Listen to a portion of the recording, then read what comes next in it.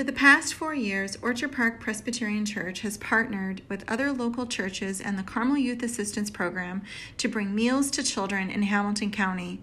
Carmel Youth Assistance Program was formed in the fall of 2015 to help strengthen youth and families through community involvement.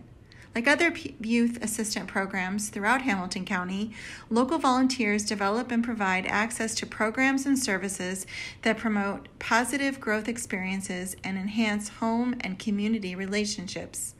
This summer, we provided weekly meals for 116 children in our community. With the help of volunteers throughout the summer, we came together on Thursdays and Sundays and provided meals for those in need. Special thanks to all of those who work tirelessly to make this important program happen and to feed our children. God bless.